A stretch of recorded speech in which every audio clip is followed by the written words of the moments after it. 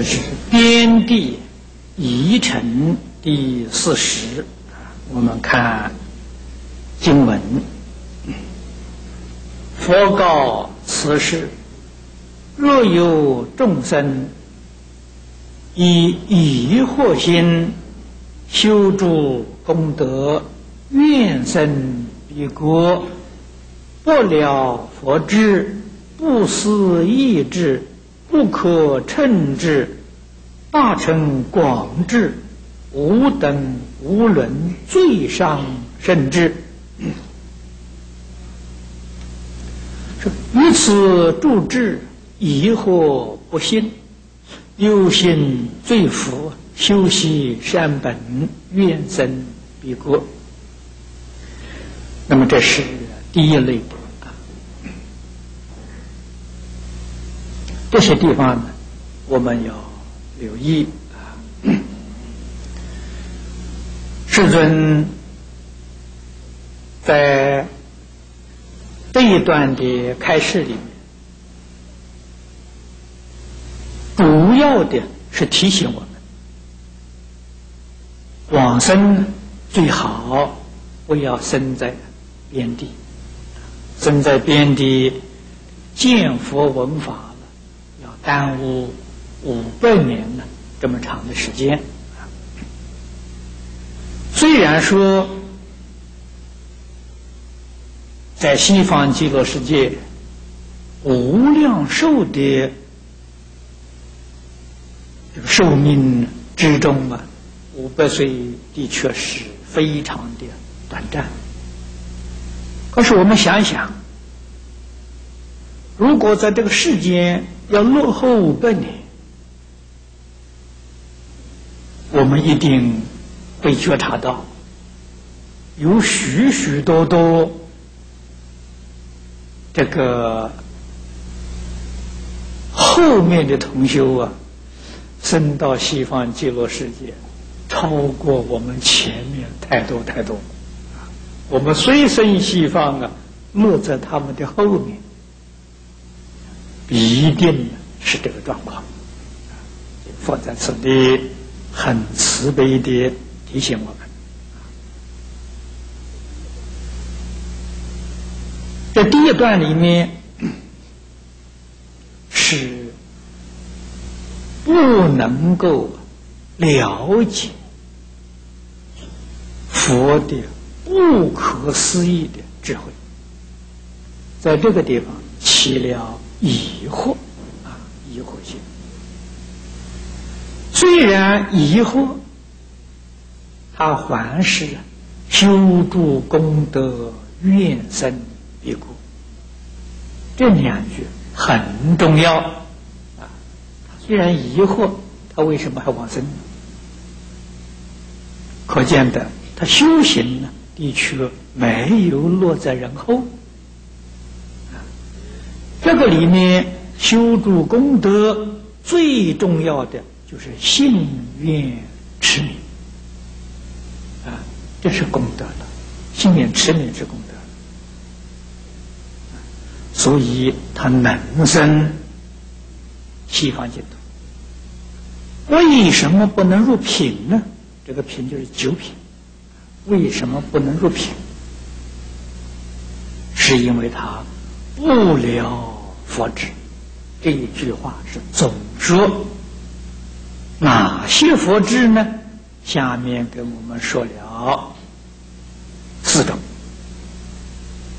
啊，这个佛智是总说。无私意志，佛有不可思议的古大德把这一段经文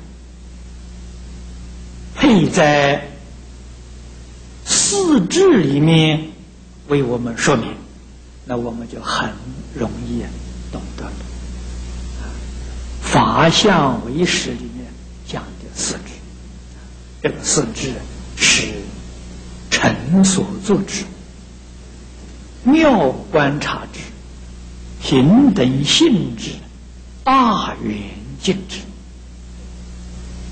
我们也称它做四智菩提。菩提是觉悟的意思啊，四种觉悟。四智菩提是对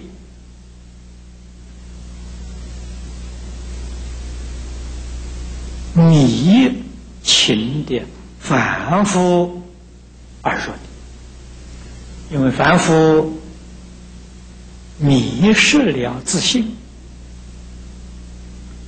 把自信啊转变成八十啊，就八识不是觉悟，八十是迷惑才有啊。觉悟呢，就把八十转变为四肢。所以教下有说，修行贵在转世成智。这句话确实说的不错。修行，修行的成就是什么？就是转识成智，转八十。成四智啊！这话说的是没错，可是真正要会转呢，的确相当不容易。大福鼎首楞严经，在中国佛教界里面是很负盛名的。几乎没有人不知道这部经典。自古至今的注解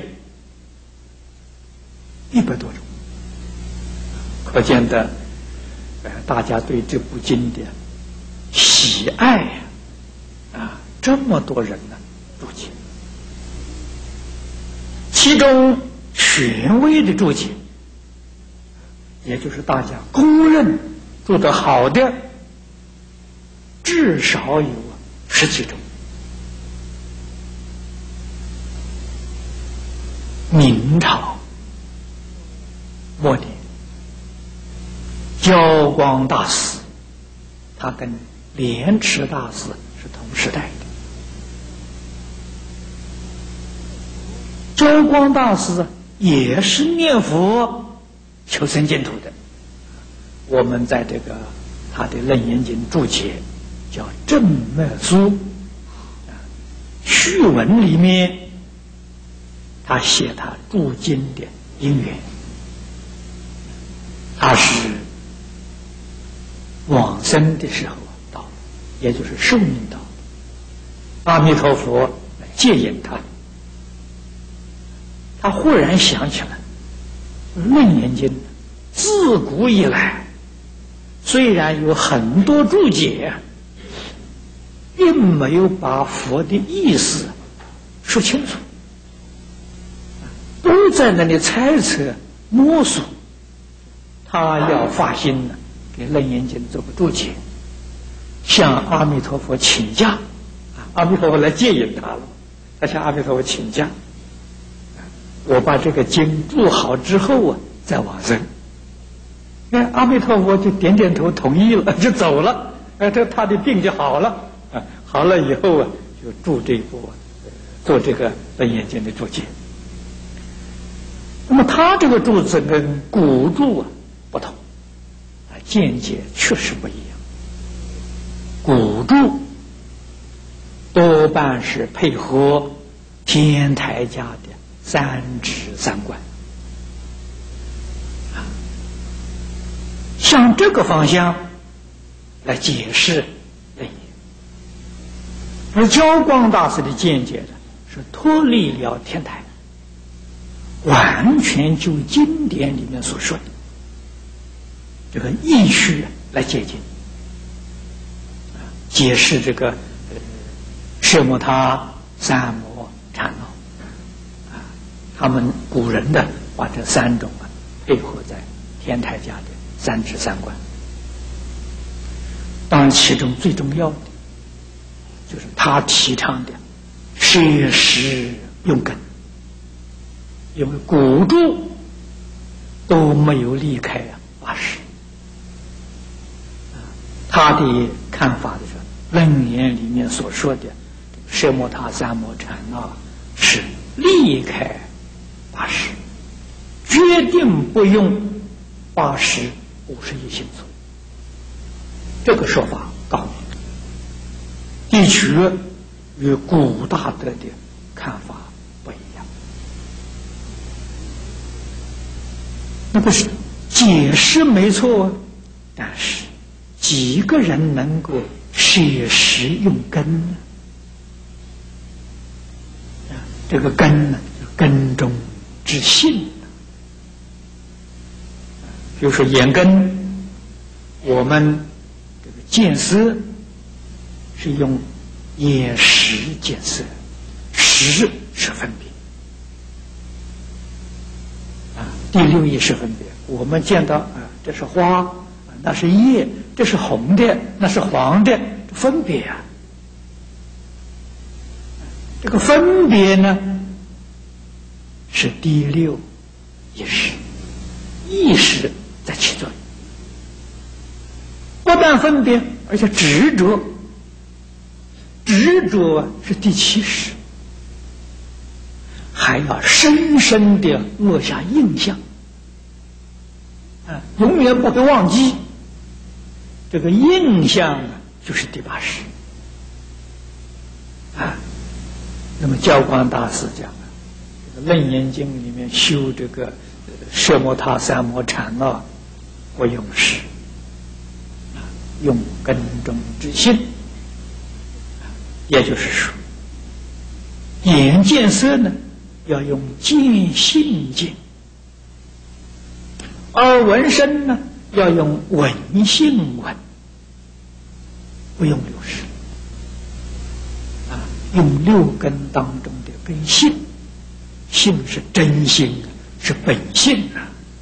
那会用性的人呢，就是明心见性啊，那见性就成佛了，确实符合佛在《楞严经》里面所讲的教义啊，这个义学，他解释的没错。但是很难。要是依照经典里面的解释，经文也长，也很难懂，很难体会。曾经有一些同学问我，他说：“用最简单的话来说，什么叫实？”什么叫根？什么叫舍实啊用根？这个问的很好。最简单，我们能够体会得到的，从识的作用上去区别。第六识的作用是分别。第七，莫那的作用是执着；阿赖耶的作用啊是含藏。阿赖耶像仓库一样，藏式仓库一样，所有一切五尘、落谢、影子，通通都含藏在这个仓库啊。所以我们讲它作用是记忆。你为什么会记得呢？因为你藏在阿赖耶识里。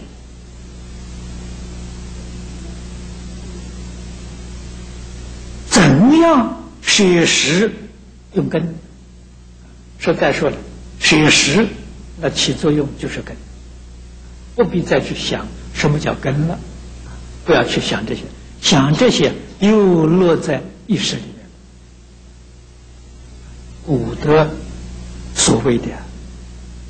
只要把妄离开，不要求真，离开妄，自然就是真的了。你再求真呢，又变成妄了。你有个求的心啊，那就是妄心，就不是真心了。啊，只要把妄舍弃掉，只要把实舍弃掉，你所起的作用啊，当然是自信了。那么我们见思要怎样见法？没有分别，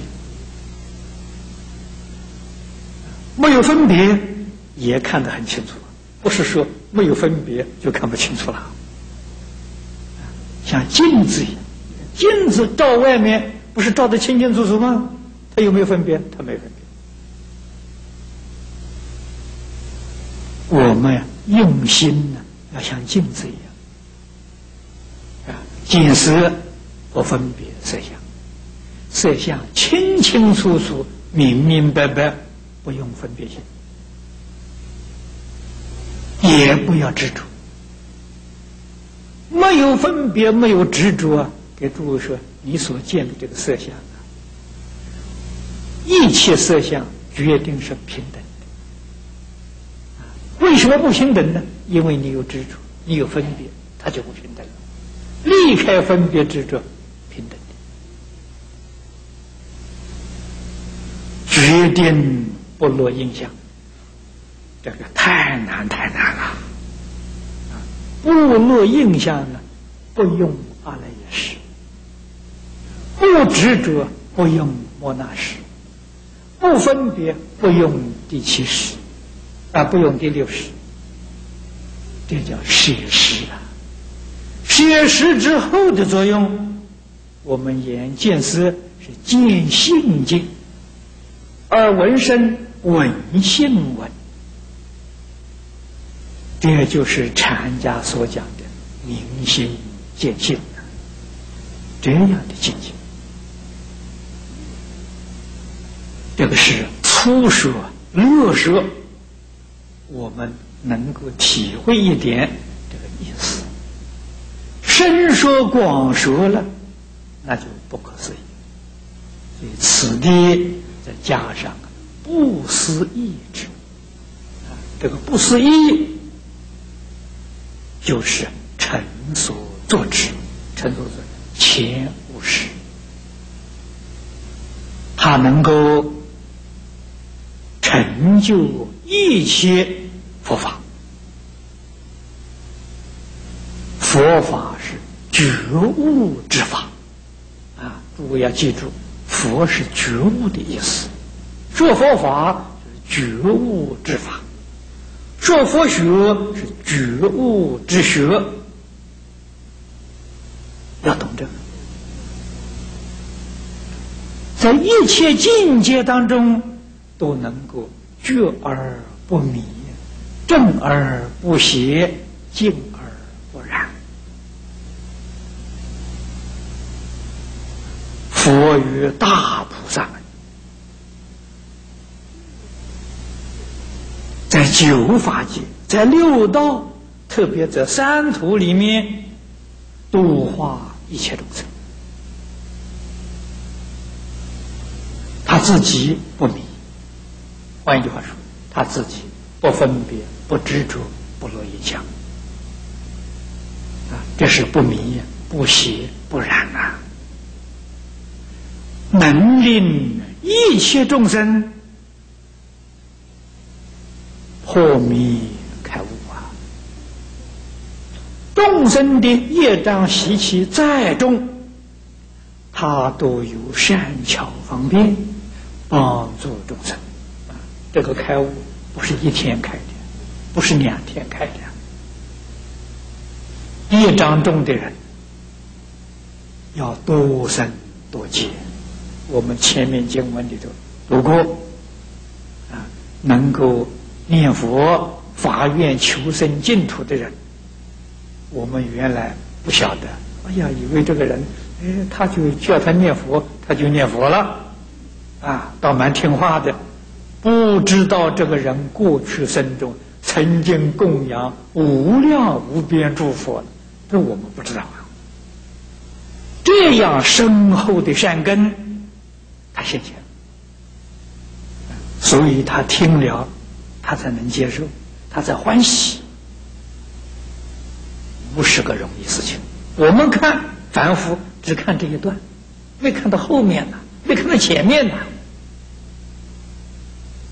佛与大菩萨了，把这个人过去生中事情看得太清楚了，看得太明白了，所以他知道这个人善根成熟真的是不容易，太难得，太难得。那么这么这样长的时间当中，阿弥陀佛、诸佛菩萨没有一次。嫌弃过我。换一句话说，生生世世、时时刻刻在照顾我，在帮助我们啊！这一生这个缘呢圆满成熟了，我们居然呢发心求生净土啊，心愿持名啊，这真的是不可思议的智慧，这是臣所作之。释迦牟尼佛不跟我们说，我们怎么会晓得？啊，所以一些人对这个怀疑，也难怪嘛。确实是令人。第二讲，不可称之，称之称扬啊，包括就赞叹，没有办办法了，称赞。这是讲啊，妙观察之观是佛门里面修行的一个重要原则。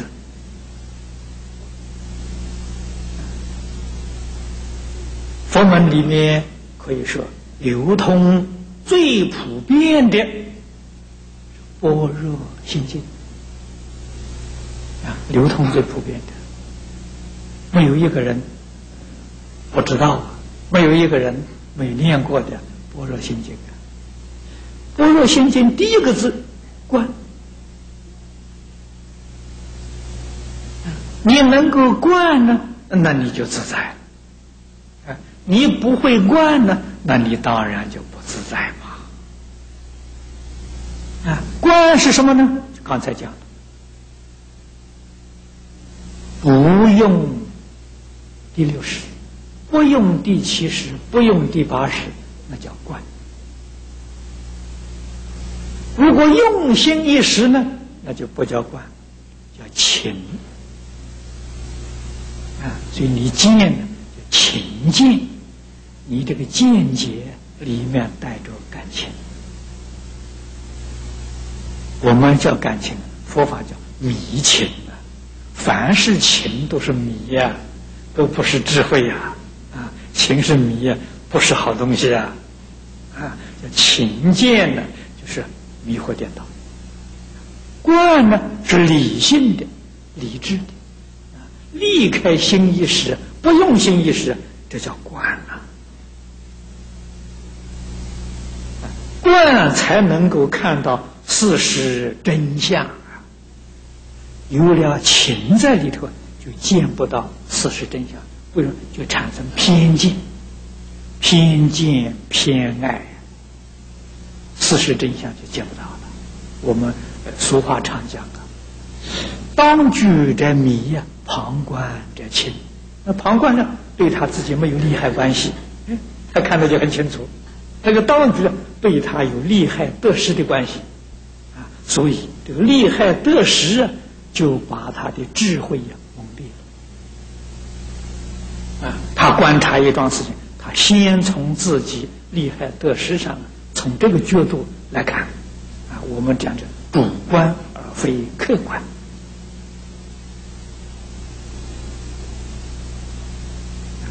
那么这个是不可称之，就是妙观察之啊。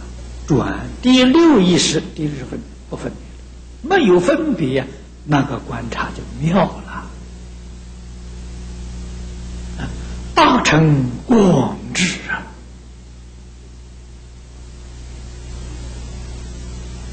这一句就是转莫那成平等性质，平等就广了。我们世间人智慧很小，原因在哪里呢？因为自己的心不平等，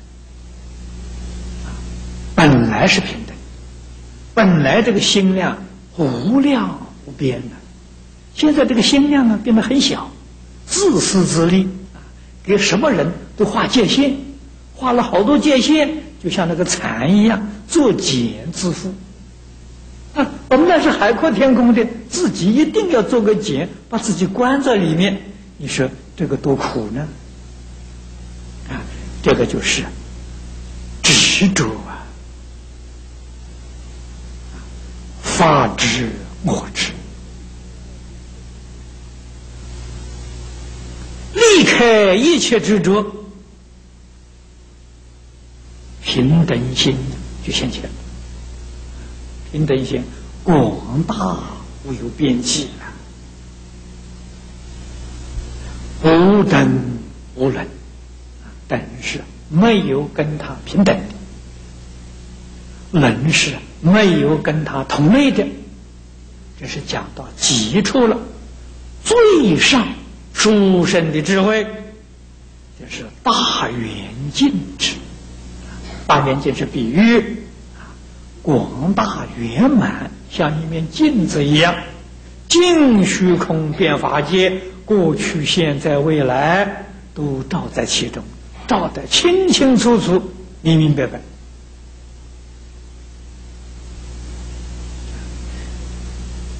这个五种智都是我们真心本性。幕后这一句是真心本性之体，前面这个四句都是讲的作用啊，所说的作用。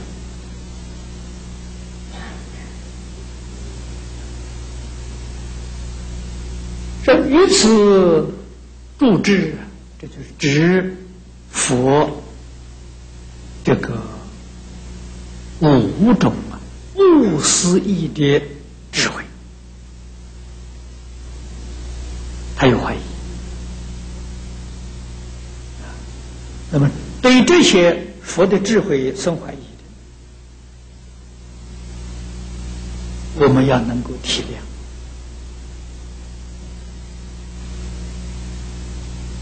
真正断疑生信，实在不是一桩容易事情。反而啊，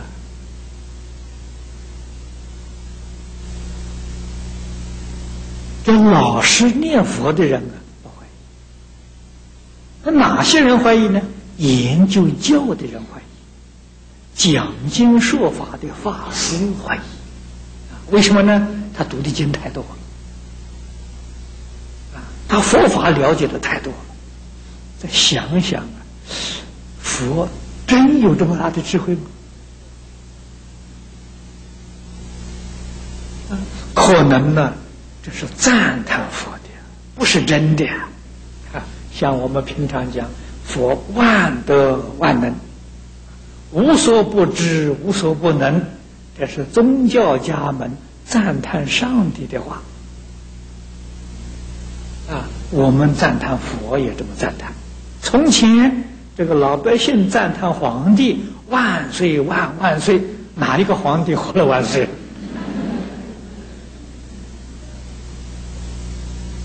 啊，做皇帝的人啊也很笨。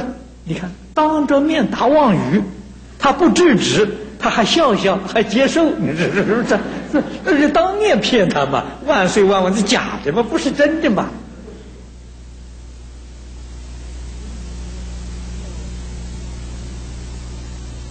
因此，教下里面就有很多的法师，大法师、老法师都有。你要向他请教佛的智慧是是不是圆满的，他也会说：佛是是的确是大智慧，但是也不是真正的圆满。他就怀疑啊，啊，为什么呢？佛也有所不能呢？那你佛的智慧就不圆满了。其实佛的智慧是圆满的，佛没有不能的。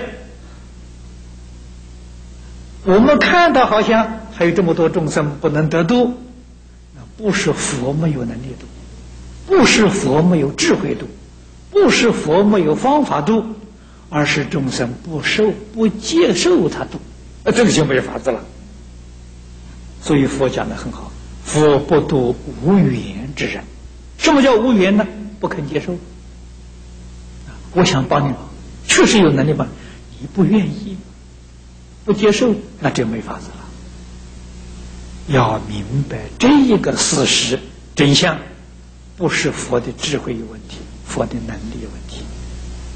特别呢，我们读了这部经之后，这个疑问可以说彻底解决了。啊，我们过去初学佛的时候，就打个妄想啊，假如这个人造了忤逆食物。极重的罪业，立刻就要堕到地狱。佛有没有能力叫他马上成佛？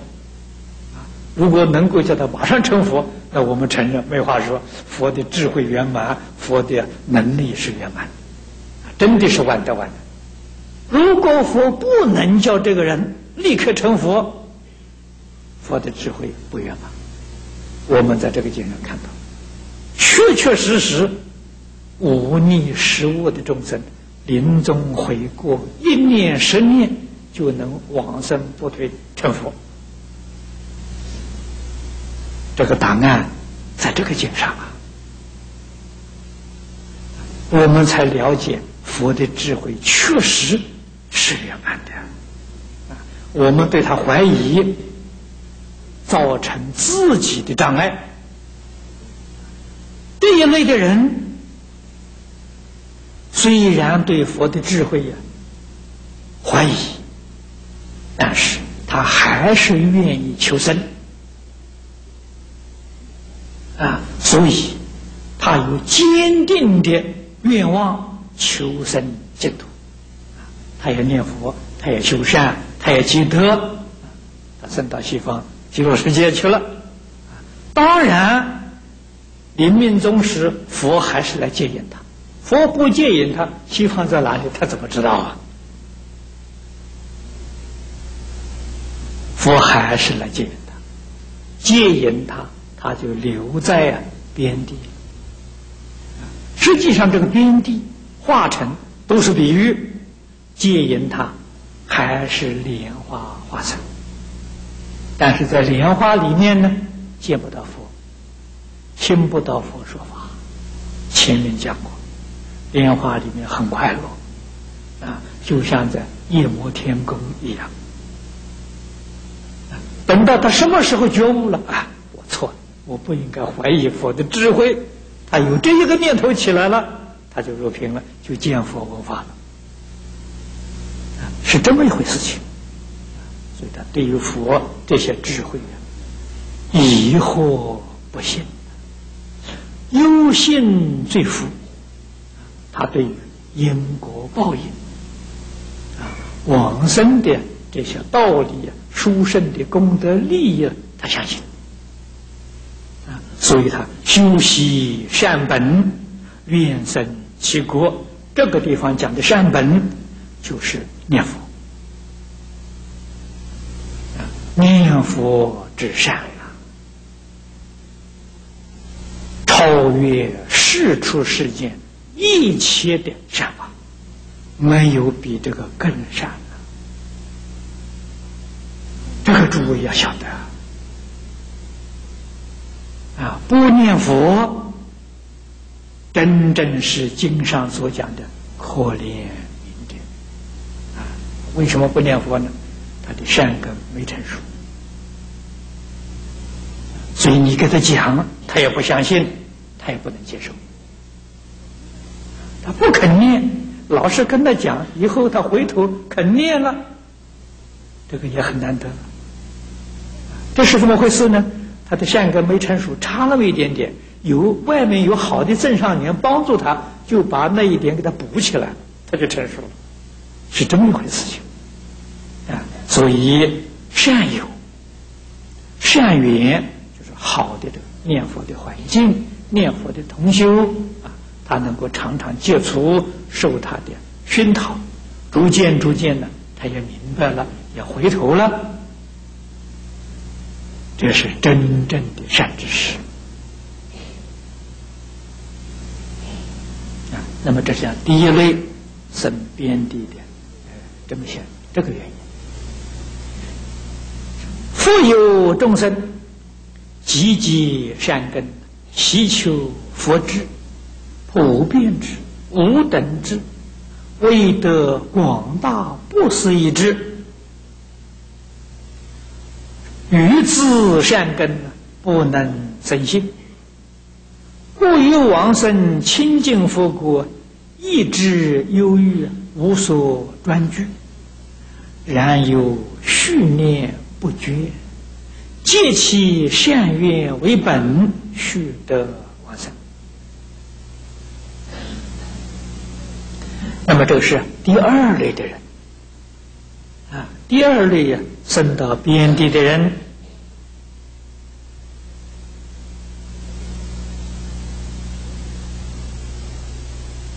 那么这一类的人呢，对佛的智慧呀没有问题，他能够相信啊，他能够这个是他知道积极善根啊，祈求佛知。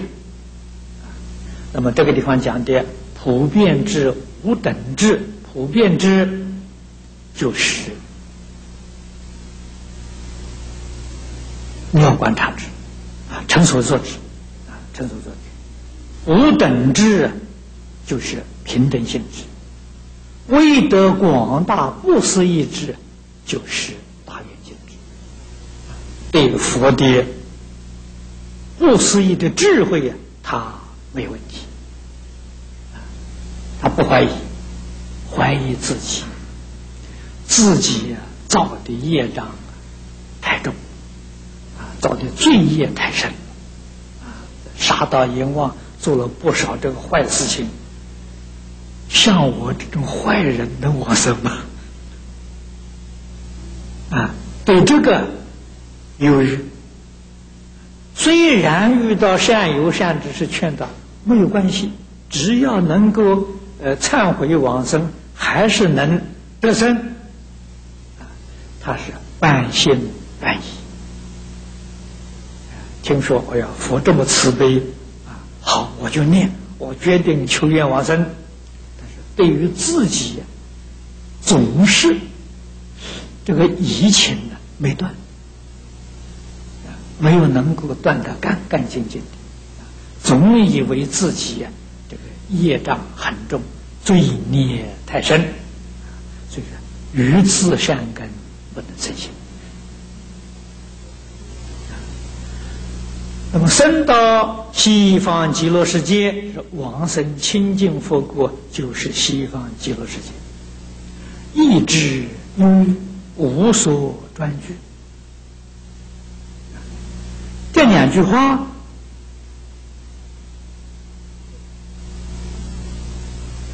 我们不能够啊一文解义，一文解义啊，那就是变成严重的障碍，根本就不能往生。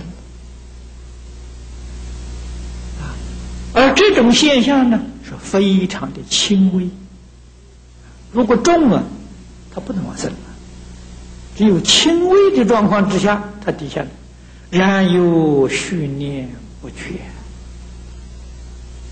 他佛号不中断的，他求生的意愿有啊，佛号没中断的，那么由此可知，他对于自己这个这个信心呢，确实是有，没有一般呢这个求愿往生那么专、那么强烈、那么坚定，他没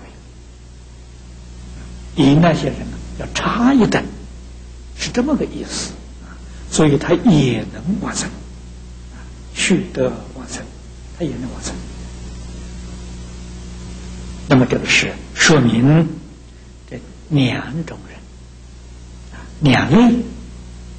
这两类里面，当然里面轻重啊、广狭范围呀是非常的深广。那么由此可知，这个念佛法门一定要深信不疑呀。这深信里面呢，一定要包括对佛的智慧要深信，因为。西方极乐世界是阿弥陀佛智慧的建立，佛之所见，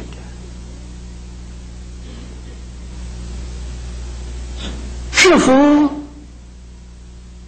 无私意志所立的。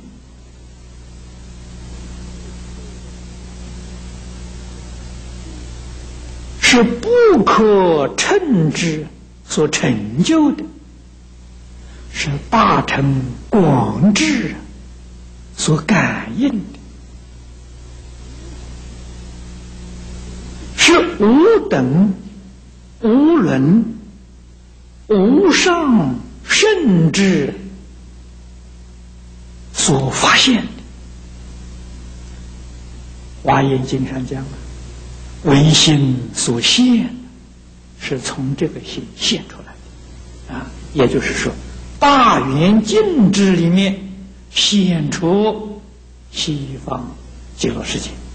那么由此可知，这个是西方极乐世界一真庄严，是阿弥陀佛五种智的成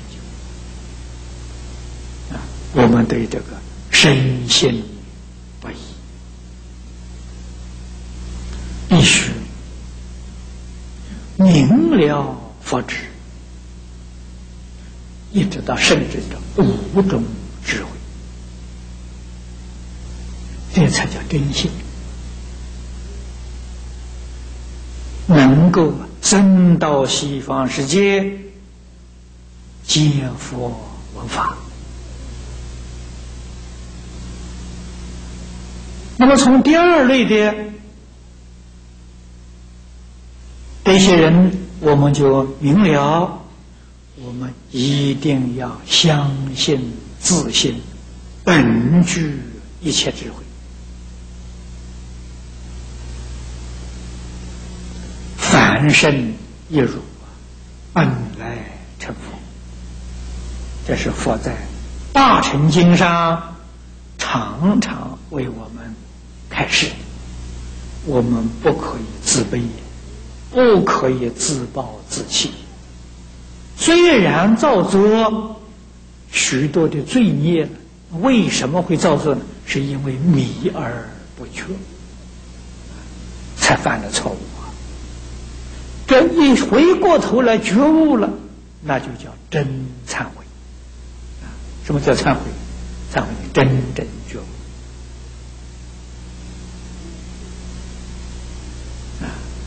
众生。觉悟什么？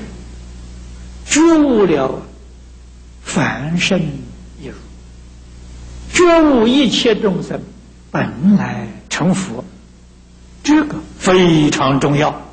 这是把我们的心转过来，念头转过来了。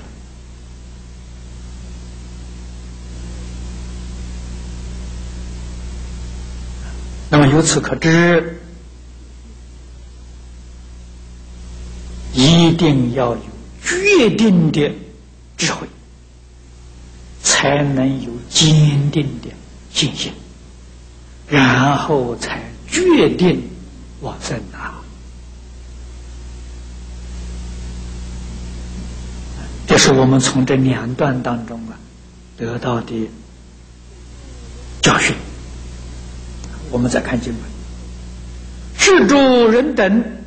以此因缘，虽生彼国，不能前至无量寿所。报知佛国边界，七宝城中。这个是往生的时候，生到西方极乐世界了。生到极乐世界，没见到佛，啊，好像到那个地方就终止了，啊，到至佛国边界。西方极乐世界有没有边界？说老实话，没有边界。七宝池中莲花化身嘛，不过在莲花里面呢，花也没有开，花里头也没有佛。那个边界是比喻，边界、遗尘、胎生，通通是比喻啊，不是说西方极乐世界另外还有一个边地，没有，啊，那就不是平等法界了。西方世界是平等世界。所以这通通是比喻啊，这个七宝城中也是比喻，城关在里面不能出去，表示不自由，通通是比喻。佛不是耳，身心所足，心自去向。这个说出来了，这是不是阿弥陀佛故意呃？惩罚的呢？不是的，佛心平等，这个不是佛的障碍，是他自己心智去向，就是他心里还有那一点疑惑，变成障碍啊！这样我们才明白，世尊在大乘经上常说。疑为菩萨最大的障碍。我们在经上听说这个说法，不知道这个疑是菩萨最大的障碍。障碍大到什么程度，我们不晓得。这你看到，往生西方极乐世界，障碍你。不能见佛法啊，这个才晓得，这个疑确确实实是一个很严重的问题啊！这是根本烦恼之一了，贪嗔痴慢疑。根本烦恼之一，能起这么大的作用，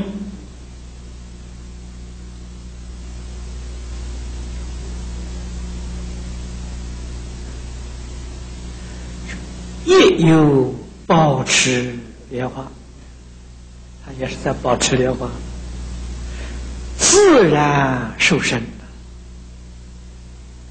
啊，他是化身，自然受身，并不是胎生的。还是还是莲花化身啊！因是快乐如桃李天。啊，前面讲是夜摩天，这个地方讲桃李天。啊，欲其城中不能得出啊，他没有办法离开他的范围，不像九品往生。虽然在莲花当中得佛力的加持，他可以随意到十方世界去供佛、去闻法，他不行，他不能出去。所居舍者在地，不能随意高大。他居住的宫殿，在地面上不能够。浮在空中，不能升到空中，不能随意大小，想住的地方大，它就大；想小一点，它就小，它不能随意大小，啊，不能够这个这个这个，啊，不能够这是在空中啊。于五百岁常不见佛，不闻经法，不见菩萨声闻声众。他的苦恼啊，就是这个，把它比作泰森，啊，比作边地，边地是没有佛法的地方，叫边地，啊，是这个意思。虽然他也在七宝池中，也是莲花化身，但是莲花里面不能见佛闻法。这个就是他自己这个疫情没有断尽产生的障碍。那么由此可知，我们今天念佛，《楞严经》上讲的很清楚。啊，大师之菩萨说：“一佛念佛，现前当来。”必定见佛！现前现在，现在我们几个人见到佛了。你为什么不见佛？你想想，这两种疑惑有没有？如果有啊，不见佛，这个不奇怪吗？我有障碍吗？假如这两种障碍确实没有了，现前也能见佛。有感应！过去我们读这个传记，庐山圆公大师，他老人家在一生当中曾经见过三次西方极乐世界。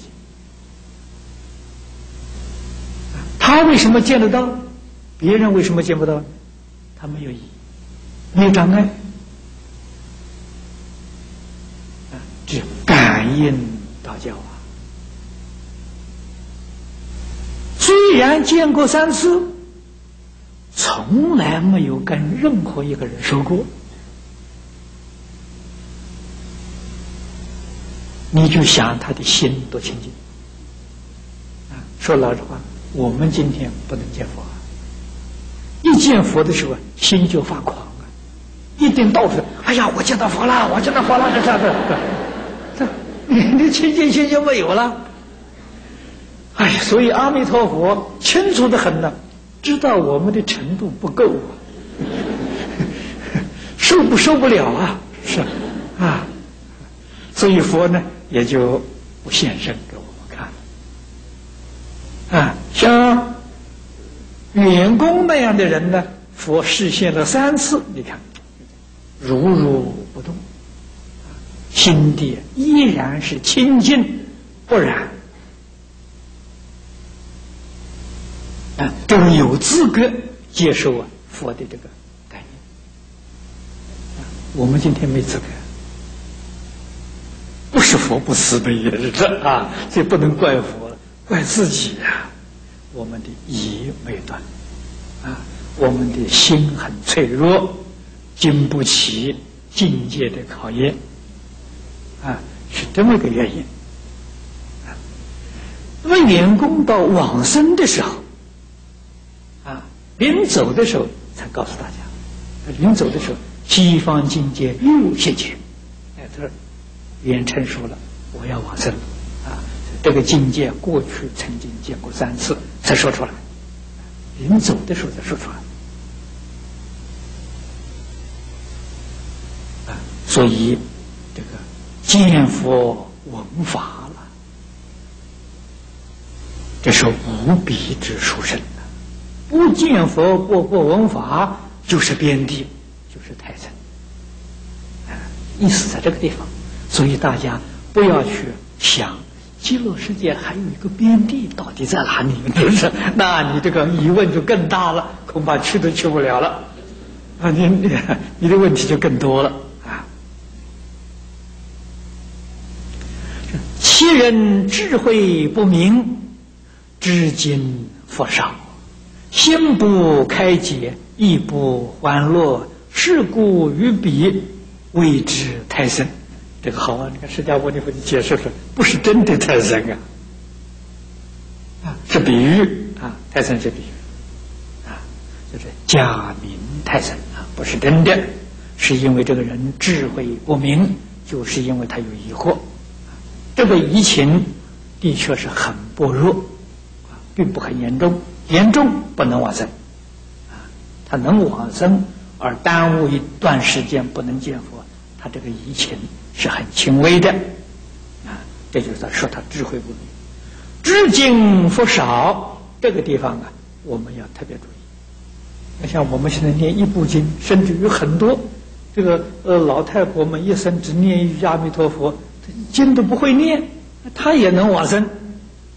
那他是不是都升到遍地一成去呢？不见得，有很多这个老太婆们往生的位相非常好，欲知时知。站着走、坐着走的都有，他怎么会在一层呢？此地这个知经佛少，少是什么呢？少是讲的理解太少，是这个意思啊，就是你解的、理解的太少，你知道的很浅薄，不够深度啊。不够深广，意思在这个地方。你对于经义要有深广的理解，你的疑才会断啊！我们讲经听经，用意在哪里？就是把道理说清楚。事实真相说清楚，修行的方法说清楚，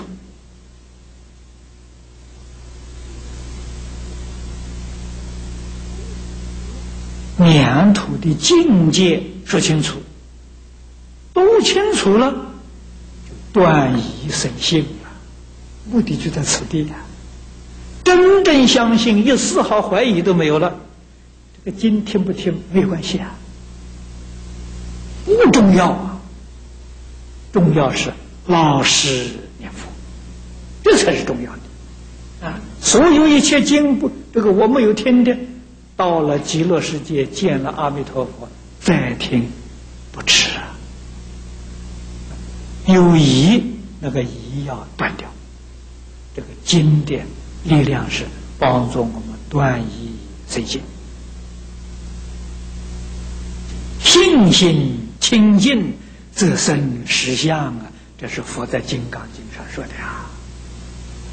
果然信心清净，这个经就不要了。《金刚经》上有比喻法上应舍，何况非法？那个法就是佛法了。啊，到你信心清净的时候，这个经就可以舍弃掉了。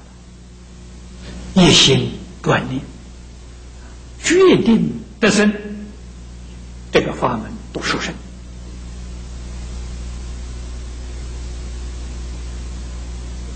多难得了。的确是简单、容易、稳当、快速，哪有那么麻烦？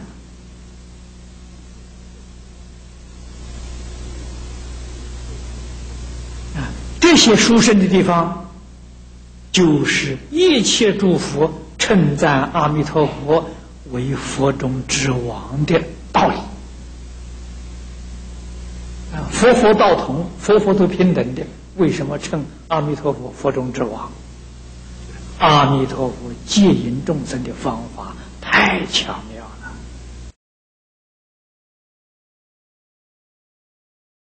若有众生。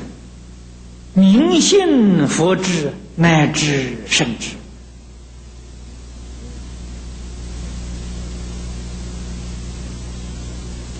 假设有众生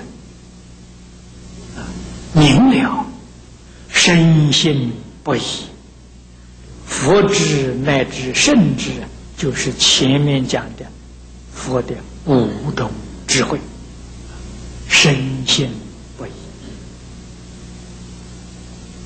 为什么我们对佛的智慧怀疑，会产生这样大的阻力？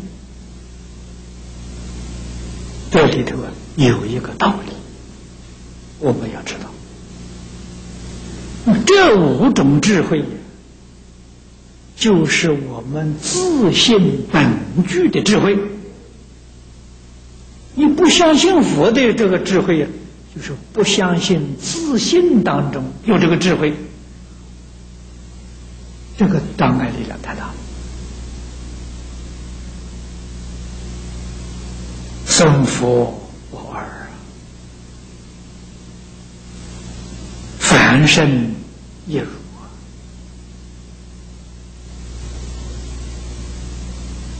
真正的道理在此地，所以。佛讲的很清楚，佛不是，不是佛愿意要这样做法的，也不是佛有意思这样做，自自然然成了一种障碍。所以，偶一大师在要解里面跟我们讲心念性，他把信说出六种，第一个就是信自，第二信他。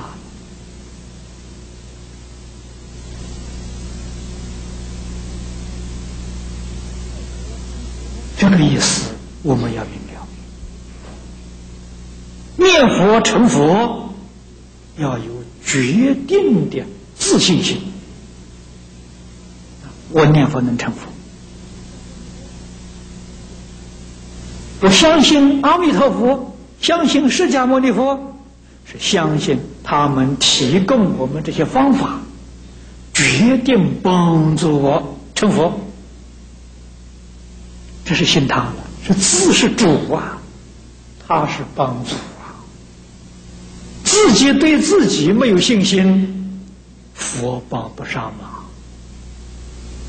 啊，你自己有一分信心，佛帮一分忙；你有十分信心，帮十分忙。这个人呢，他有九分信心，缺一分，所以佛也只能帮九分忙，那一分呢？还让他自己来，是这么个道理。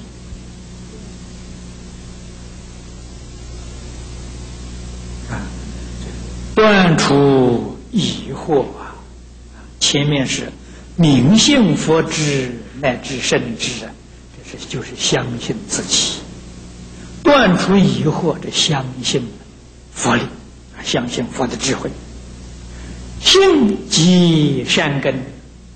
做诸功德，智心回向，要相信自己的善根。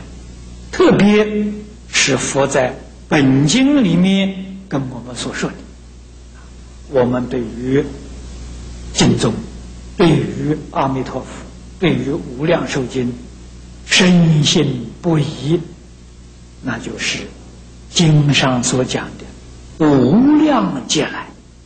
以供养无量无边诸佛如来这个善根成熟，我们要相信自己的善根。没有这样深厚的善根，接触到这无上法门、第一法门，你不可能不怀疑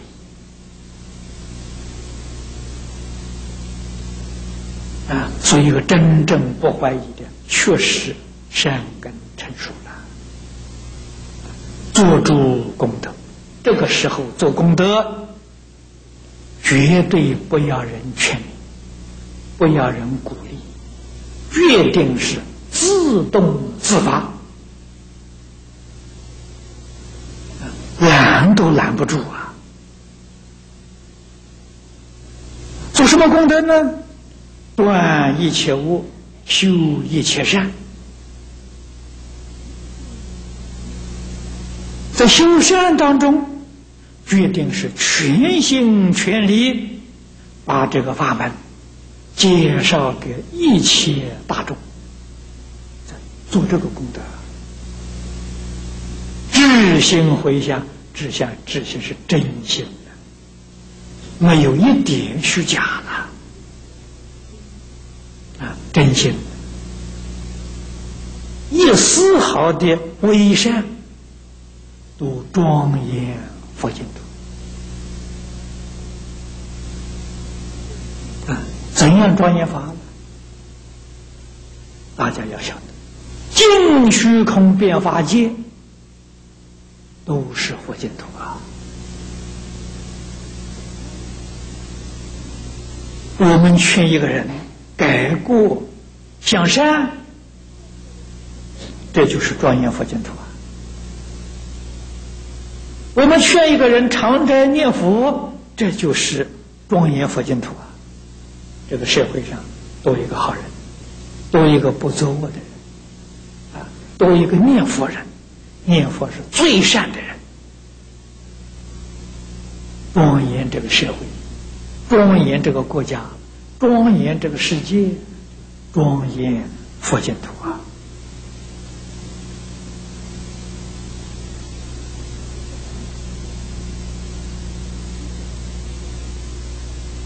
啊，所以一个人回头，一个人断恶向善，向善会影响一家，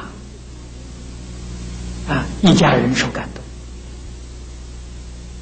一家人行善，会影响他的亲戚朋友，他的邻里乡党，那就影响社会呀。这就是佛在前面教给我们，要把佛教育推广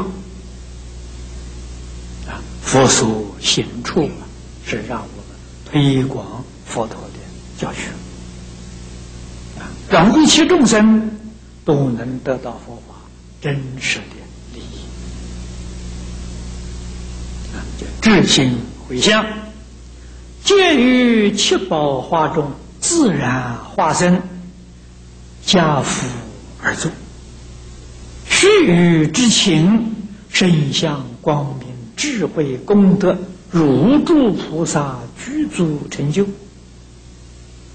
这是讲九品往生，没有疑惑的，那就没有疑惑啊。这个相信自己善根啊，做诸功德，执行回向，这样去往生的九品往生的，通通都是莲花化身。经文上清清楚楚、明明白白。都是莲花化身。须臾之情啊，是讲那个速度之快啊。我们常讲一刹那、一念之间，就是这个意思。升到西方极乐世界，他的身相、他的光明、智慧、功德，就跟那些。大菩萨没有两样。啊，因为弥陀世尊他宏愿里面说嘛，生到西方净土都做阿惟越智菩萨，阿惟越智是七地以上啊，生到那个地方都是七地以上菩萨，这个是说。佛念力加持的，不是自分。经常讲的菩萨声闻天人，那是讲我们自己的功夫，有差别。佛力一加持啊，是一样的，你决定分不出来啊，没有差别。我们这个地方说老实话，因为我们有分别、有执着、有妄想，世尊。随着我们的分别妄想，说有菩萨、有声闻、有天人，你到达西方极乐世界，大家连这个念头都没有啊！为什么会没有这个念头呢？平等法界、平等世界决定没有这个念头！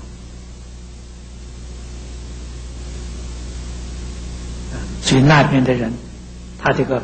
观念跟我们不相同啊，我们都落在意识里头啊，心意识做主啊，人家那边不用心意识啊，啊完全是跟如来果地上四智菩提相应。啊，不用心意识。弥勒当知，与化身者智慧甚他有智慧，他没有分别，没有执着，没有怀疑，这个就是智慧深。智慧跟聪明不一样，啊，不可以把世间这些聪明当做智慧，啊，那个我们叫视之变聪明，它不是智慧，叫智慧，智慧生，嗯，所以那些老太婆不认识字，啊，经年没听过，问他什么都不不会不懂，阿弥陀佛，阿弥陀佛，真智慧呀，大智慧呀。哎呀，我们这讲经说法的，好有好像是世出世间法样的没智慧呀！为什么不相信？不肯老实念佛了？智慧跟聪明不一样，那才叫真正智慧。智慧生，其胎生者五百岁中不见三宝，不知菩萨法事。这个法师讲修学。不知道西方极乐世界菩萨的修学，菩萨日常生活怎么样修习？不得修习，无因奉祀无量寿佛，因为他不见佛不闻法，也见不到这些海会大众，只是在那个莲花里面去享乐。啊享这个清净之乐，当知此人叙事之时无有智慧，疑惑所致啊！这个把他的的这个原因呢，为我们说出来，是他过去就是没有到西方极乐世界以前，如果说我们在人道，我们有这个疑惑啊，或者是疑佛，或者是疑自己。怀疑自己，都造成这样的障碍。那么下面呢，还继续来解释这一段呢，还没有说完的一些意思，必须要加以解释。这五百岁到底是不是一定要需要五百岁呢？这五百岁到底是我们世间五百岁，还是西方极乐世界五百岁呢？这都是。一些疑问，或境见佛啊，或者是迷惑，就是那个疑疑要断尽了，他就见佛，就闻法了，还会大众啊，他都见到了。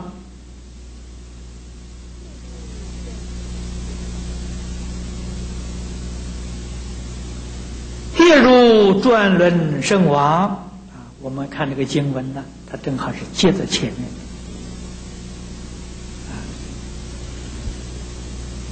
面，有七宝玉，王子得罪，禁闭其中，层楼奇殿，宝帐金床，南窗踏坐，妙事奇珍，因是衣服如。转轮王，而以金锁系其两足，祝小王子临乐慈福，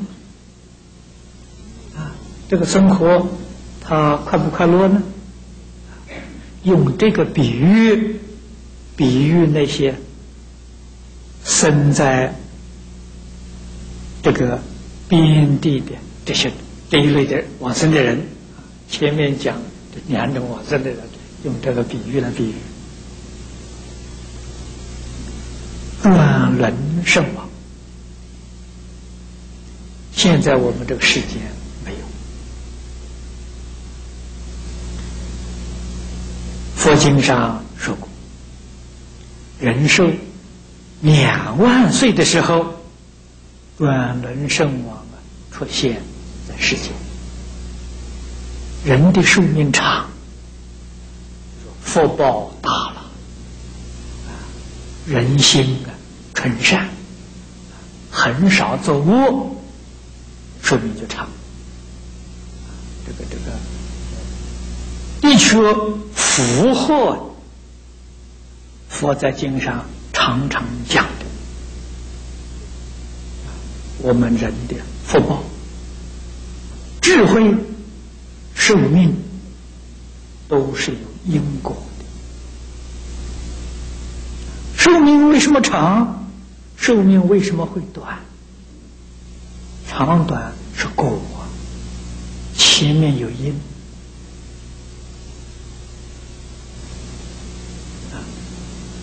这个杀害众生啊，吃众生肉啊，寿命。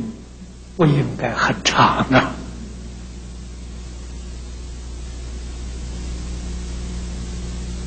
大家也晓得，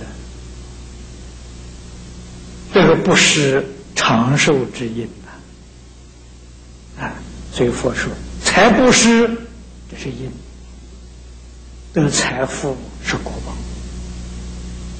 发布施是因啊。今天大家引经布施。这是发布施啊，果报是聪明智慧呀。无为布施啊是因，这的果报是健康长寿。那么由此可知，人寿两万岁，人心地一定非常慈悲，对不对？一切动物都会爱护，不但对动物爱护，对植物都爱护。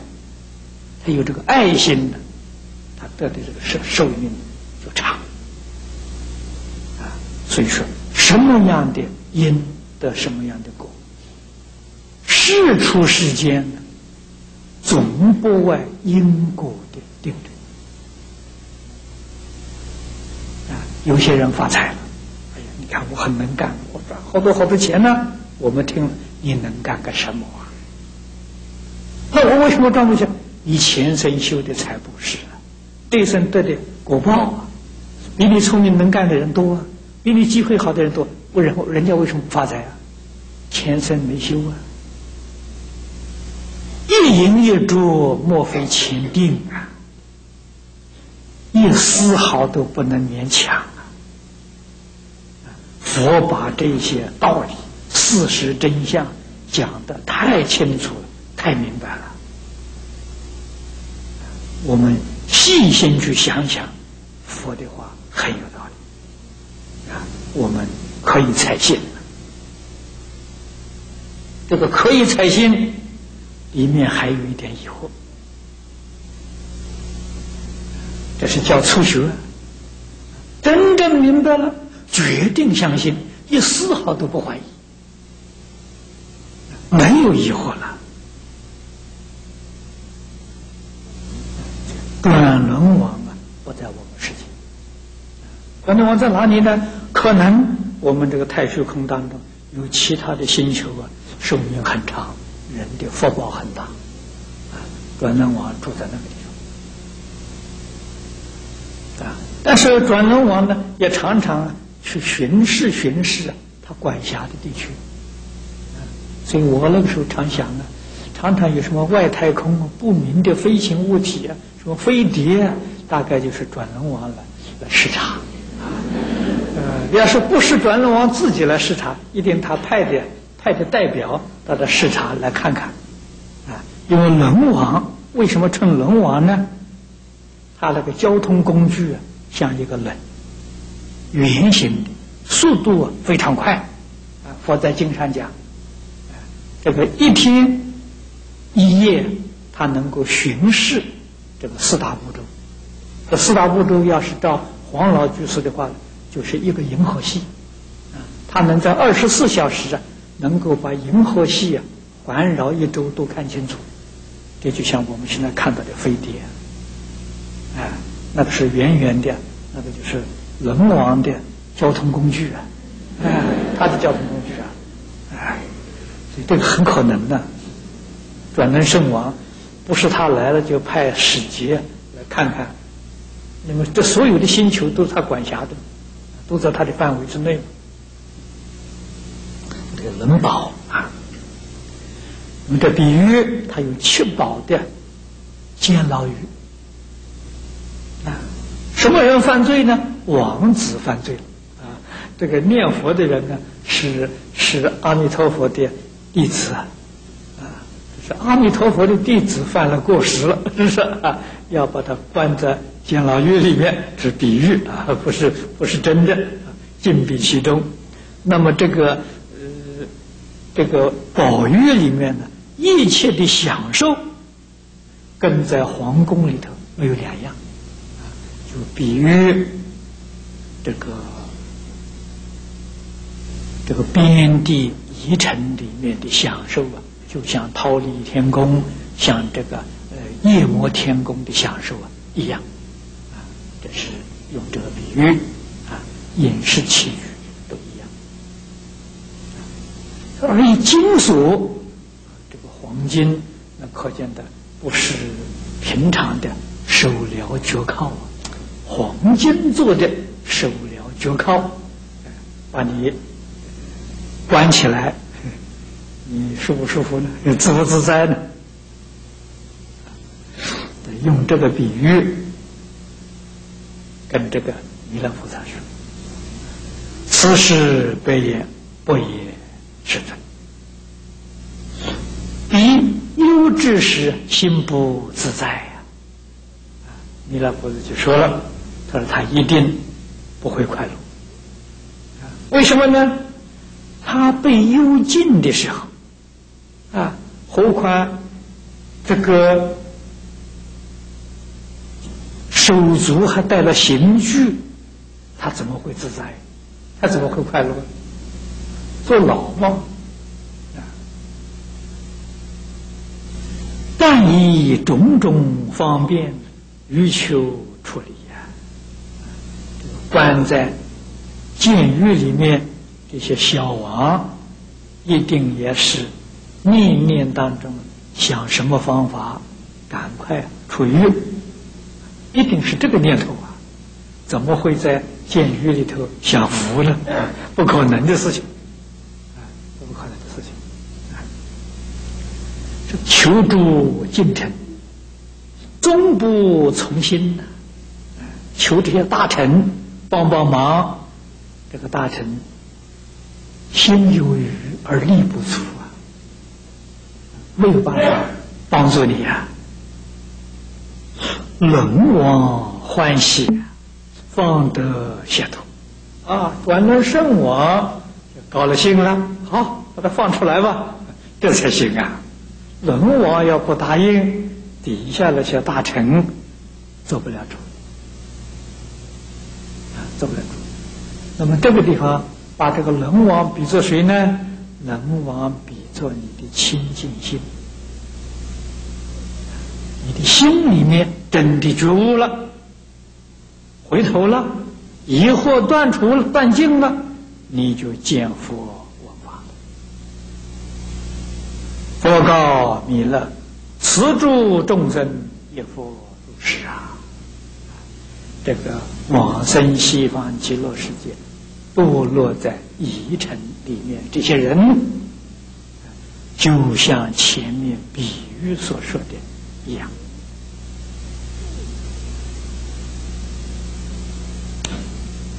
若有堕于疑悔，祈求佛智，智广大智。于自善根不能自信，又闻佛名，其信心故，虽生彼国，于莲花中不得出现。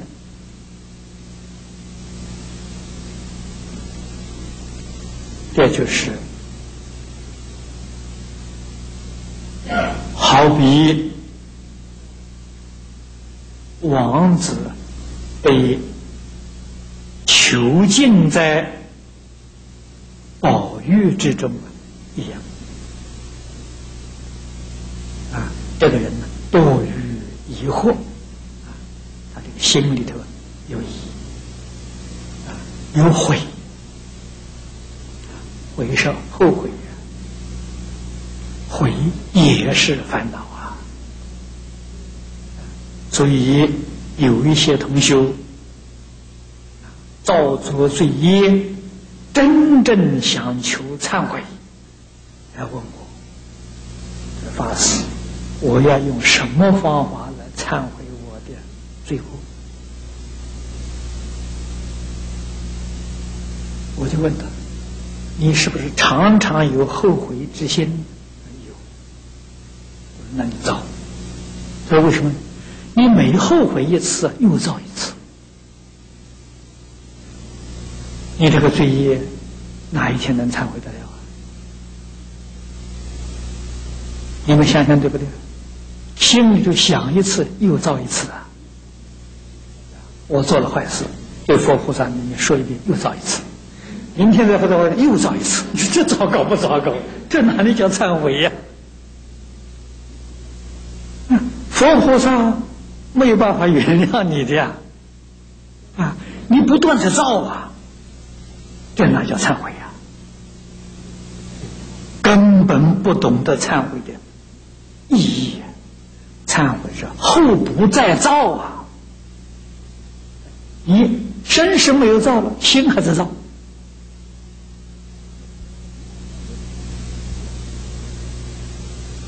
那你应该怎样忏悔法呢？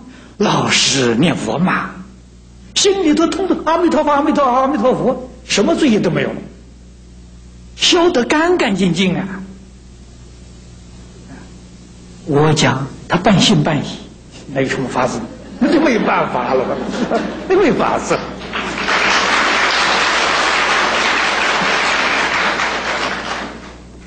大家头脑一清，一定要想清楚啊！心里头真有佛，一片佛号啊，这功夫成片，罪业消得干干净净，什么都没有了。所以他人家念佛往生那么殊胜，道理在此地。啊！你造这个罪业时候，每一天向佛菩萨求忏悔，我做了什么什么坏事坏事，你又造一遍啊！明天再忏悔，又又造一遍，这是你这个罪业永远造不完呢，越造越深呢。阿赖耶识的印象，你看越落越深，那个罪业哪一天能消掉？啊！很愿意求忏悔，不懂忏悔法，把天天在造业当做忏悔。你说冤枉不冤枉啊？啊，这是要要晓得，这个忏悔第一殊胜就是念佛啊，很少人知道啊。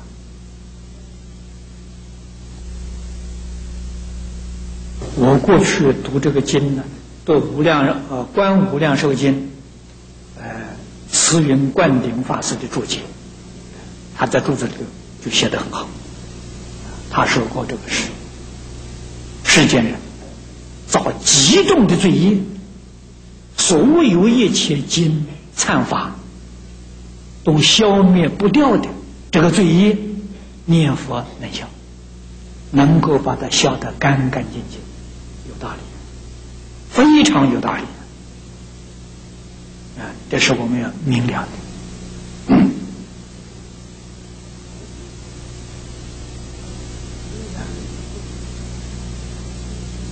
那么它的好处，就是还有闻佛名起信心，啊，听到净土法门的书声，名号功德不可思议，他还真念，啊，还求愿往生，啊，他升到西方极乐世界去了，于莲花中不得出现，这就是躲在边地一尘，就把用这个来比喻他。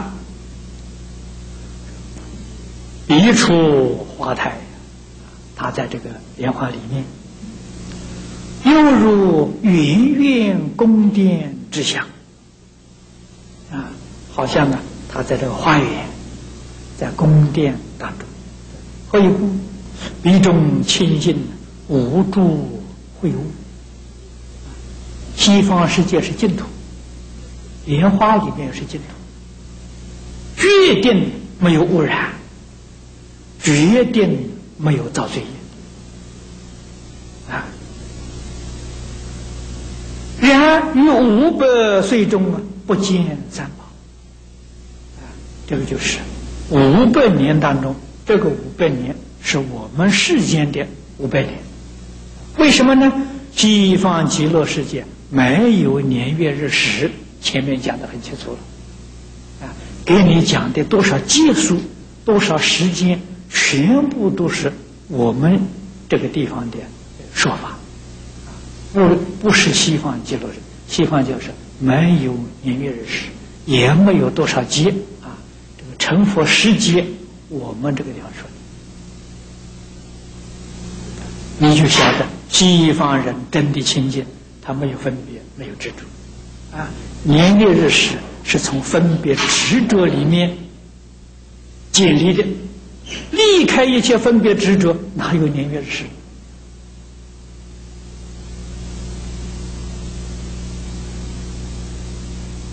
啊，所以这个我们一定啊要清楚。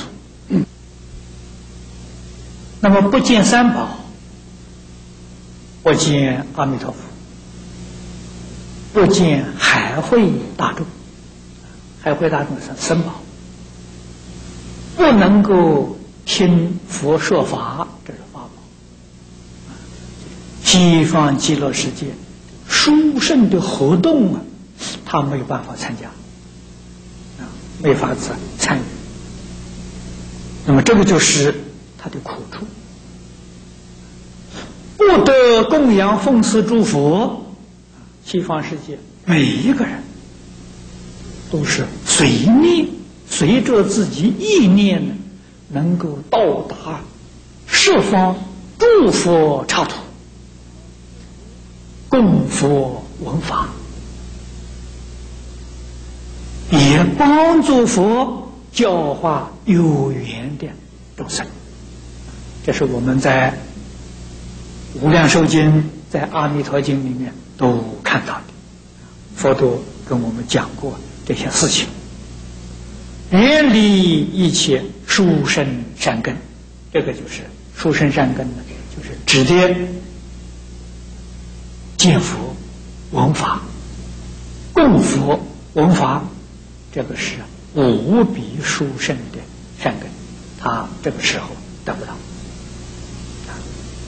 以此为苦啊，勿生信乐啊，这就比喻太深啊，比喻的贬低是这么个意思。若此众生啊，指这些人失其罪本。身自悔责，求离别处，往昔世中，故事敬矣，然后来出。这就好比龙王欢喜了，把它放出来了，比喻这个意思。啊，那么这一段就是讲的忏悔，知道自己的。过失，毛病发生在什么地方？这个最本是什么呢？就是怀疑，一个对佛智怀疑，一个是对自己的善根怀疑。身自悔责，这个身自悔责就是这个时候才一心一意念佛。以清净心念佛，真诚心念佛，清净真诚的，一丝毫怀疑。这个时候，他就见佛闻法。九品大众的活动，他都有份，他都都都都得到，皆得往矣无量寿数。只要他一觉悟，他的过失就没有了。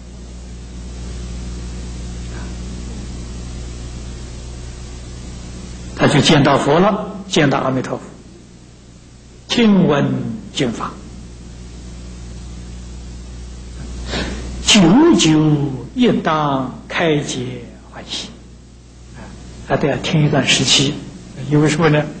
他是刚刚觉悟过来，这个领悟的能力还不高，啊，还是有一点障碍，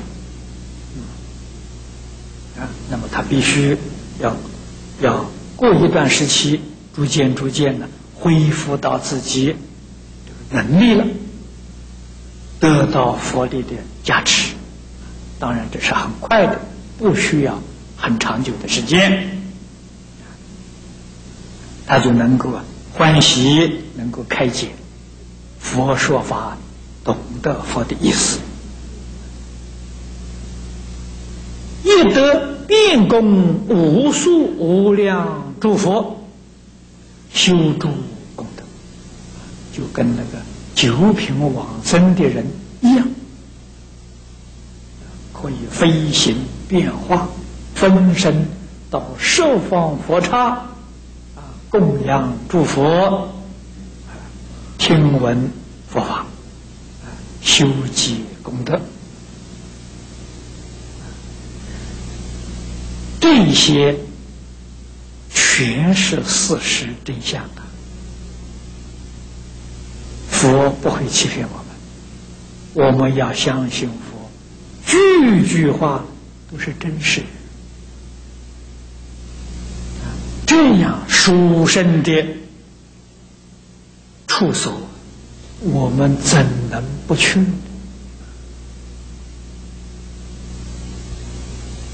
除非是你不知道，你要真正晓得有这么一个地方。什么力量都拦阻不了，决定要去啊！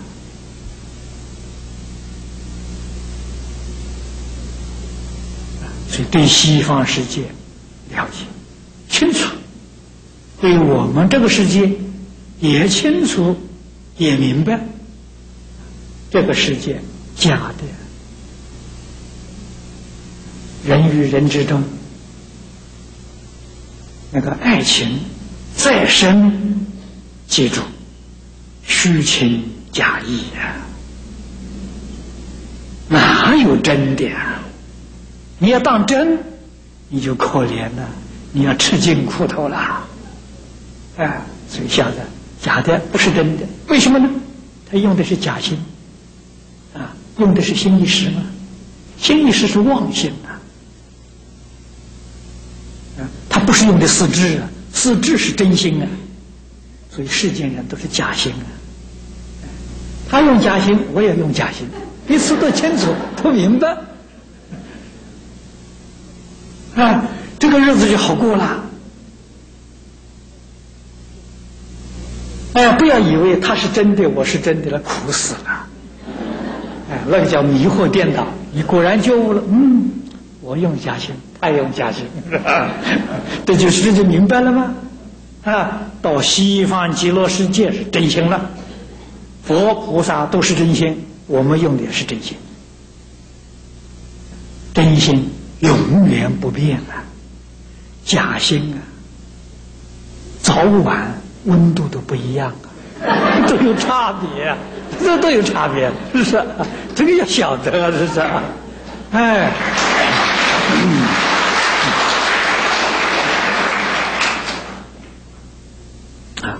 所以自己不可以蒙蔽自己啊，不可以欺骗自己，这个非常重要。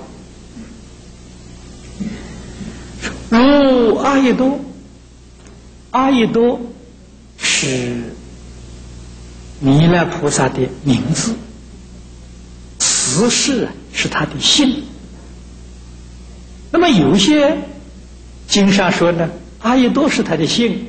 此事是他的名字啊，到底是哪一个？但是都有根据，啊，都有根据，这个就是弥勒菩萨啊，叫做弥勒菩萨。当知疑惑，于诸菩萨为大损害，未设大利，是故应当明信诸佛无上智慧。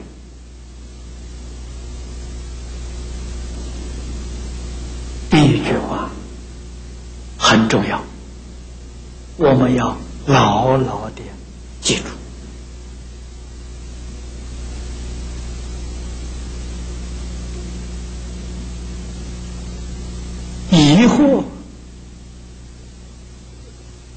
为什么会造成大的损害？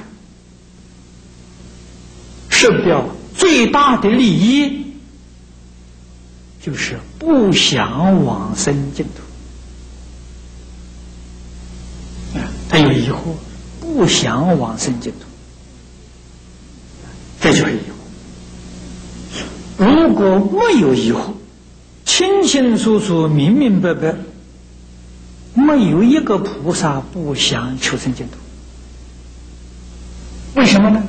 因为真净土见到阿弥陀佛，你自己修行跟度化众生，得到圆满的正上缘啊！啊，我想修行，阿弥陀佛帮助，这个太容易了。菩萨道上一帆风顺，所有一切障碍都没有了。啊，教化众生，你的智慧、神通、善巧、方便得阿弥陀佛威神的加持，就跟诸佛大菩萨教化众生没两样。哪一个菩萨不愿意生净土？哪一个菩萨不愿意见阿弥陀佛呢？只有啊。对啊，西方世界对无量寿经怀疑的人，所以他的损害就太大太大了，失掉了很大的利益了。佛在此地劝勉我们呢，应当明信，可见的不是迷信呐。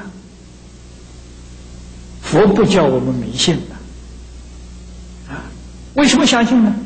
通通搞清楚了，搞明白了，我们相信了。啊，相信诸佛无上的智慧。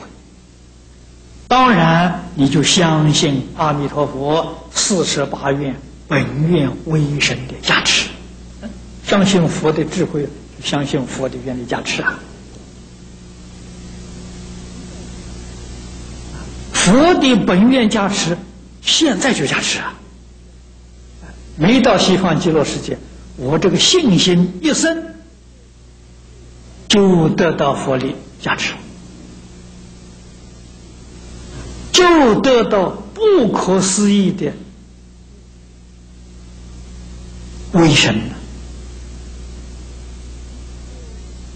此是悲言啊！弥勒菩萨就说。云何此界一类众生，虽已修善而不求生？啊，弥勒菩萨当然是带我们问的，他哪有不知道的？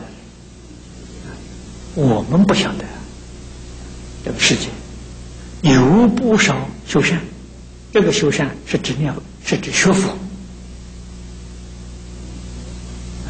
修学。其他的法门，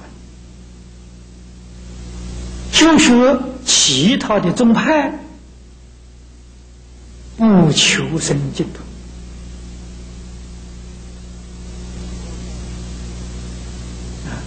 说这一类的人，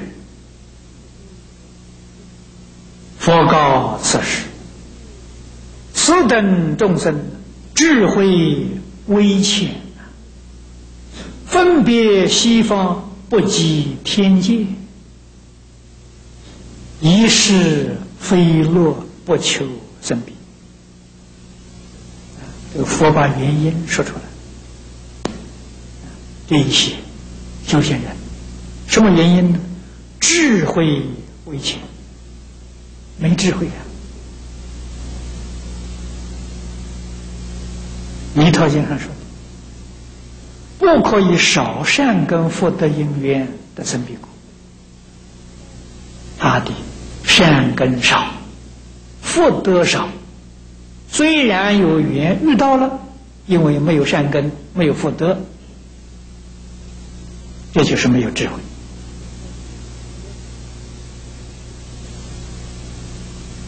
所以他在打妄想，他在分别执着，西方极乐世界比不上天界。这个天界是指指哪个天界？你们诸位同学一定很清楚，就是弥勒菩萨那个天界呀，这是都率天呐！啊，所以有不少人呢。要求生弥勒净土，啊！你看多少参禅的，他们的目标都是在多少天，啊！一是非乐，这个乐就是不喜欢，不喜欢西方极乐世界，不喜欢往生净土，不求生彼，他没有求生西方极乐世界的心。此是悲也。此等众生虚妄分别，不求佛刹，何免轮回？弥勒菩萨讲的是实话。为什么呢？说实实在在的，要想往生弥勒菩萨的斗率内院，不容易。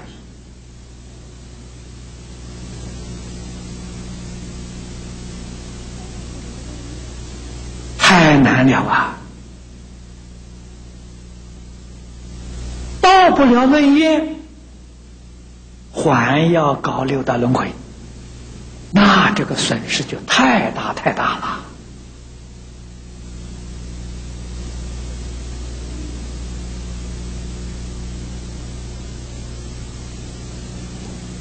生斗率内院，比往生西方极乐世界。难的太多太多。啊！弥勒菩萨那个地方啊，水准很高啊，啊，达不到那个水准进不去啊，不像西方世界，西方世界水准最低了，每个人都有份呐，啊，他那个地方水准很高啊，要修唯心圣定。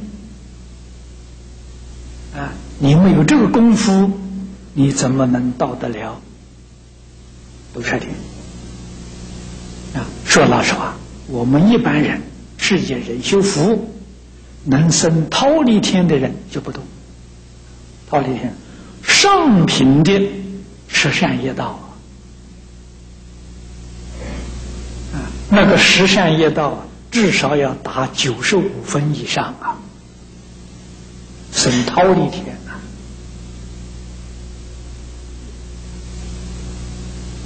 你就晓得多难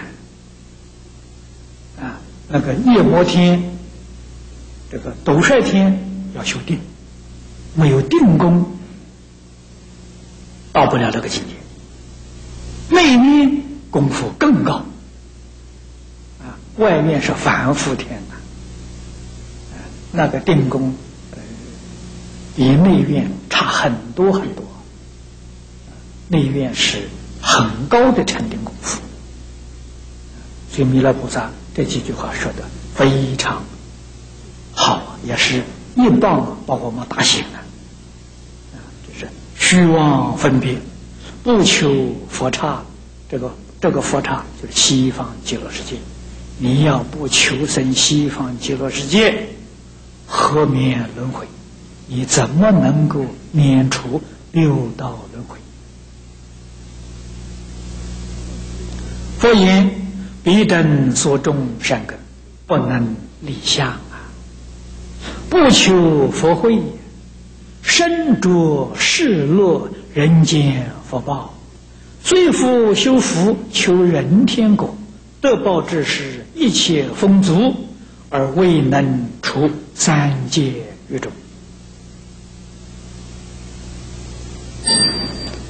这段话说得很清楚。很现实啊！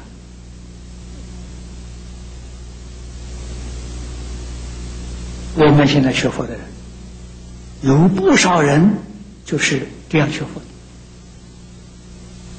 的。啊，他学佛修什么？人天福报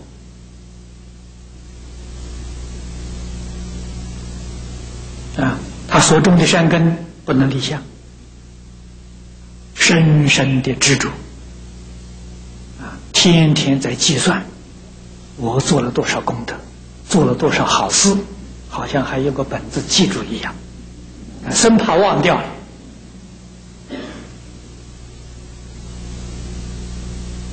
啊，身着是若对于世间的享受，深深执着。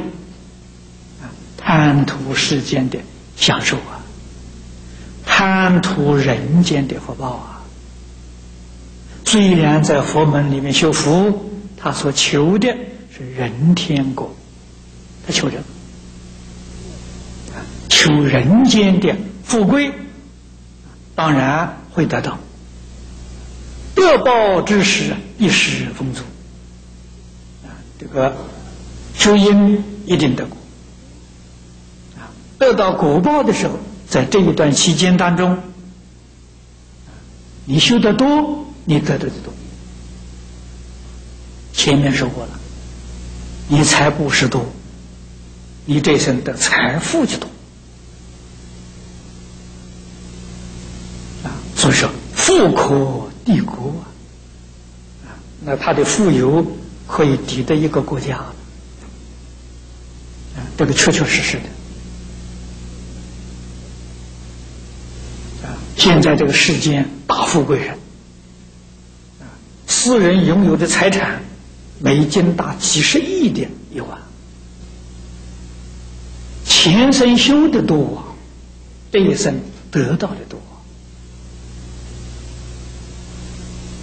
前生修的法不是多，这一生聪明智慧超过别人，啊，前生修无为不施，这一生得健康长寿。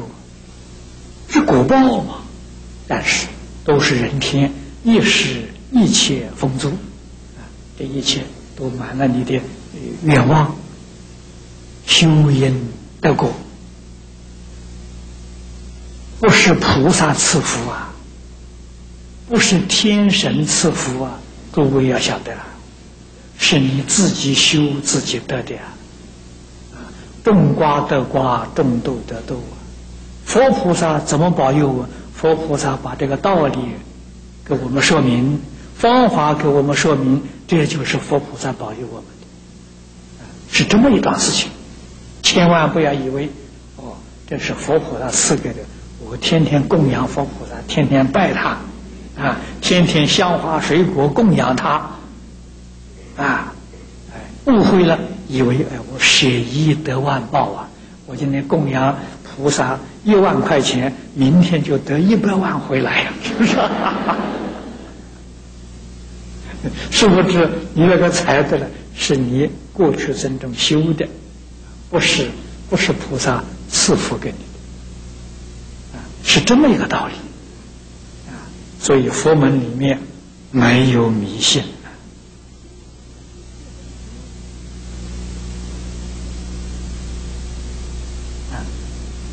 虽然一切丰足，你要记住，你没有超越三界，你没有脱离轮回，你的福报享尽了怎么办？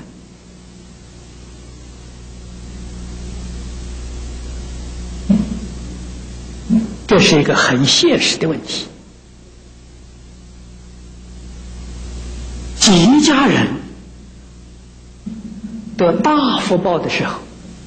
还肯继续修复